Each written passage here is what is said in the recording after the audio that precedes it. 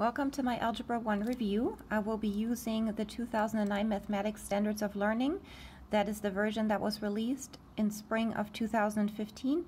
All of these sample problems are the property of the Virginia Department of Education and none of it is my work. I will be using one sample problem each week, work through the entire problem and show different ways of finding the solution.